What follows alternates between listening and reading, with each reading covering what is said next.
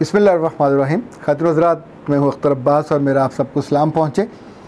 लाहौर में हाल ही में होने वाले अफसोसनाक वाक़े के बाद मैं सच कहूँ तो अंदर से पूरी रूह डरी हुई है, दिल और जिस्म डरा हुआ है। ये डर इस चीज़ का है कि हम आम तौर पे जब ऐसा कोई सानिया होता है, ऐसा कोई अफसोसनाक वाक़ होता है तो एक या दो दिन पूरी कौम में एक हाइप क्रिएट होती है।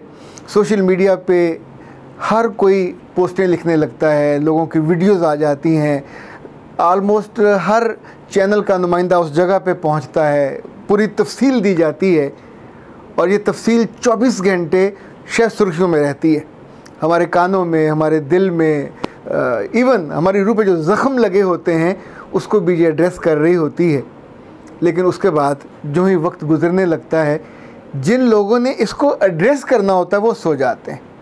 जिन लोगों ने इसके फ़ैसले करने होते हैं वो लंबी तान के अपने उस काम को छोड़ के कुछ और काम करने लग जाते हैं। आपको याद है आ, कुछ अर्सा पहले सहीवाल जाते हुए एक बेगुना ख़ानदान उसका वालिद वालदा बहनें सब मार दिए गए। और जो बच्चे बचे थे जिन पुलिस वालों के हाथों ये सब कुछ हुआ उनकी तस्वीरें भी मौजूद थी उनकी गवाहियाँ भी मौजूद थी। ज़ाहिर उनकी ड्यूटी थी वहाँ एक एक चीज़ मौजूद थी। और वज़ी अजम पाकिस्तान का वादा भी था वज़ी अला का वादा भी था और हुआ क्या? उन सबको बाइज़त बरी कर दिया गया। ये जो इंसाफ के नाम पे नाइंसाफ़ी और बेइंसाफ़ी होती है, इनफैक्ट ये आपको खौफजदा करती है। इससे पहले जितनी बच्चियों के वाक़ात होते हैं अल्लाह माफ़ करे को कम ही होता है कि जिस पे अदारे अपने तौर पे आगे बढ़ें और उसकी रोकथाम करें। आपको अंदाज़ा है कभी नहर में पानी रिसने लगे तो पूरा डिपार्टमेंट भागता है? वो जो वहाँ के बेलदार होते हैं, मेट होते हैं, ये सारे जाके वहाँ मट्टी छापे डालते हैं ताकि यहाँ से पानी रिश्ते रिश्ते नाका डाल दे। शहर छोटे हों या बड़े, कराची हो, लाहौर हो, इस्लामाबाद हो, हर जगह से ऐसे जहनी मरीज़ों की वारदातें और किस्से और वाक़ात मुसलसल अखबार में रिपोर्ट हो रहे हैं। कल एक बच्ची ने जो साइकिलिस्ट है, इस्लामाबाद में भरे बाज़ार में भरी सड़क पे उसके जिस्म को किसी ने छुआ। ये जो शहवत के मारे हुए लड़के हैं, ये जो शहवत के मारे हुए मर्द हैं, मुझे तो कभी कभी लगता है किसी ऐसे ख़ानदान में ये पैदा हुए हैं कि जिस ख़ानदान को किसी की बदुआ लगी हो। इनका तो कोई ख़ानदान अवलन हो, होगा भी नहीं। यानी वो लोग हैं कि जिनकी ज़िंदगी में ना कोई कदर है, ना कोई वैल्यू है ना कोई रब है, ना कोई रसूल है, ना कोई असूल है, स्वाय शहवत के और स्वाय जिस्मों को देखने के और जिस्मों को छूने के और फिर जानवर बनकर उनको नोचने के, इनकी ज़िंदगी में और कुछ नहीं है। इनकी शक्लें, ये डिग्री याफ्ता भी हैं, ये पढ़े लिखे भी हैं, ये अनपढ़, अनपढ़ों के बारे में वैसे कम इस तरह के वाक़ रिपोर्ट होते हैं, ये सरकारी मुलाजमों में होते हैं, ये ऐसे अदारों में होते हैं जिनका काम ही जुर्म को रोकना है और ये ख़ुद जुर्म कर रहे होते हैं। मुझे लगता है आज अगर कौम इकट्ठी ना हुई, अगर आज इस बात को, दुख को और गम को हम सबने मिन हैसल कौम महसूस न किया, यकीन मानिएगा, इस हुकूमत से वो सदर हो वज़ी अजम हो, वो आपके वज़ी अला हों, रत्ती बराबर, यानी इतना सा भी इनसे तो नहीं है। अब तक का ट्रैक रिकॉर्ड ये है कि जिस चीज़ का, जिस वाक़ का इन्होंने नोटिस लिया है, वो मर गया है। उसके बारे में कोई इंसाफ नहीं हुआ। ना इंसाफ़ी होती है, उस पर पानी और उसके ऊपर एक चादर डाल दी जाती है, बात ख़त्म हो जाती है। ये वाला मामला, इस पर कुछ दिन जो लड़ेंगे, कोई नहीं पूछेगा कि छः माह से वो मोटरवे खुली थी, चल रही थी, आखिर इतने सुस्त और नकम्मे और नकारा फैसले करने वाला कौन है? तकरीबन तो वहाँ बहुत बड़ी बड़ी करते हैं असम्बली में बैठ के जब आपके पास सलाहियत नहीं है, जब आपके पास अकल नहीं है, जब आपको ये अल्लाह ने शर्फ नहीं बख्शा कि आप चीज़ों को मैनेज कर सको तो फिर वहाँ बैठ के लोगों की ज़िंदगी से क्यों खेलते हो? छः माह पहले सड़क बनी मोटरवे के वाले करना चाहिए था। मोटरवे पुलिस वहाँ होती, ज़ाहिर है उनकी एक मामूल में पेट्रोलिंग होती है जगह जगह उनकी गाड़ियाँ उन, फिर रही होती हैं, और हमेशा वो पहुँचते हैं मदद के लिए। ये जो रिंग रोड के साथ आपने नया शुरू किया ये तो बहुत शौक़ है कि आपके पॉइंट्स बन जाएँ आपके स्कोर बन जाएँ आपने ये कर दिया आपने ये कर दिया उसको मैनेज किसने करना होता है? इसके बाद जो जो कुछ बयान आए हैं वो एक से एक फजूल और एक से एक अफसोस उन पर होता है सुन, सुनते हुए भी पढ़ते हुए भी। पर आने वाले दिनों में मुझे पता नहीं क्यों यकीन है कि ये दुख ज़्यादा होगा। पूरी कौम ये चाहती है कि ऐसे लोगों को लटका दिया जाए, बल्कि बाज़ ख़वातीन का ये मुतालबा भी सामने आया कि उनके, इन सब के जिनसी अज़ा ऐसे लोगों के काट देने चाहिए। पर इसी हुकूमत में से ऐसे लोग निकल आने जिन्होंने कहना नहीं, मौत की सज़ा नहीं देनी चाहिए नहीं उम्र कैद दे देनी चाहिए।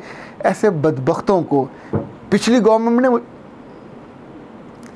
पिछली गवर्नमेंट में मुझे याद है, कुछ वाक़ात शेखुपुरे और फैसलाबाद रोड पे हुए थे। और फिर चूँकि हुकूमत की विल थी हुकूमत चाहती थी वज़ी अला चाहता था तो वहाँ इसी पुलिस की ड्यूटियाँ लगीं और उनको चुन चुन के वहाँ से पकड़ा गया और मार दिया गया। उसके बाद बरसों इस तरह का कोई वाक़ नहीं हुआ, पर अभी तो मुसलसल होने लगे। लाहौर में आए दिन लोगों के घरों पे जाके ना सिर्फ़ डाके पड़ते हैं जो जो वारदातें मज़ीद होती हैं, लोग शर्म के मारे उसको रिपोर्ट नहीं करते। रिपोर्ट करें कहाँ? जिन लोगों ने उस पर एक्शन लेना होता है, वो एक्शन लेने पर तैयार ना हों। जिन लोगों ने फरियाद को सुनना होता है, वो बात करने पे तैयार ना हो। अभी इस वक्त भी सोशल मीडिया की अगर हाइप ना होती, ये प्रेशर ना होता तो ना किसी वज़ीर ने वहाँ जाना था। वहाँ जाके वो कह रहे हैं कि ये अंधा केस है, कैसे हल करें? अगर आप अंधा केस नहीं हल कर सकते तो फिर यहाँ बैठे क्यों हैं? पुलिस हो या कानून नाफज करने वाले अदारे ये हमेशा अंधे केसों को। और ये किसी सहरा में नहीं हुआ, किसी चोलिस्तान में, किसी सहरा सहारा में नहीं हुआ, एक रोशन जगह पे हुआ है, जिसके आसपास आबादी है।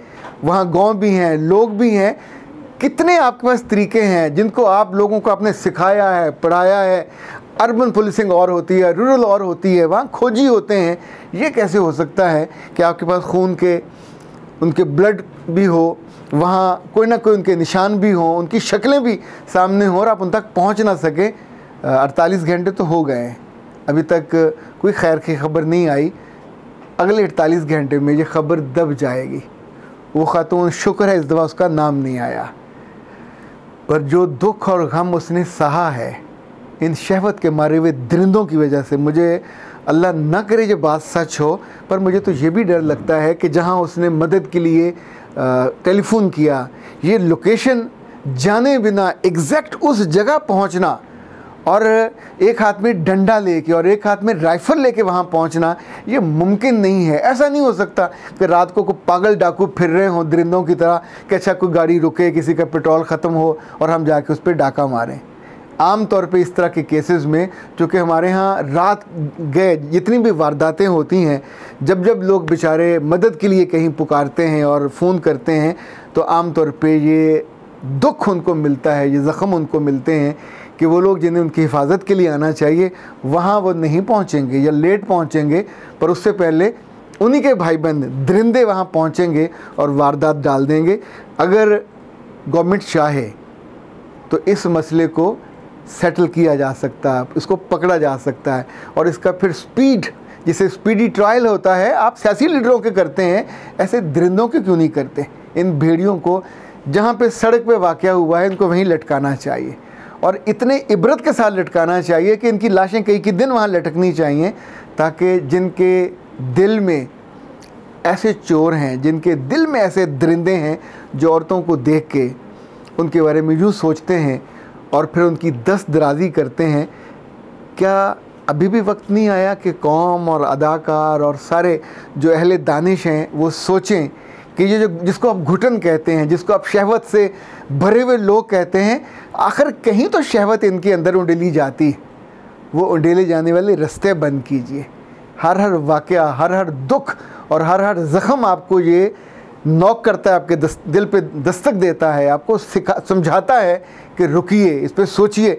सिर्फ़ एक वाक़े पे एहतजाज करने या वीडियो बनाने या उसको बुरा भला कहने से ना तो वो वाक़ ख़त्म होता है। उसके बाद एक और एक और एक और ये मुसलसल हो रहे हैं और हम उस पर रुक कर सोचने की और उसके रस्ते को मुश्किल बंद करने के बारे में नहीं सोच रहे। आपके मोहल्लों में चोर आने लगे ना, फटाफट गेट लग जाते हैं। डाकुओं का दिशा हो तो बड़े बैरियर हो वहाँ पे वॉचमैन बिठा दिए जाते हैं।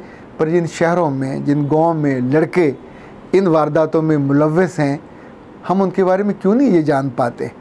हम ये क्यों मानने पे तैयार नहीं है कि कुछ वजूहत तो हैं कि जिनकी वजह से उनके अंदर इंसानियत मर जाती है और दरिंदगी ज़िंदा हो जाती है इन अंदर के दरिंदों को मारने के साथ साथ उस दरिंदगी को ख़त्म करने का सोचना भी लाजिम है। अब नहीं सोचेंगे तो कब सोचेंगे? अख्तर अब्बास को इजाज़त दीजिए। अस्सलाम वालेकुम।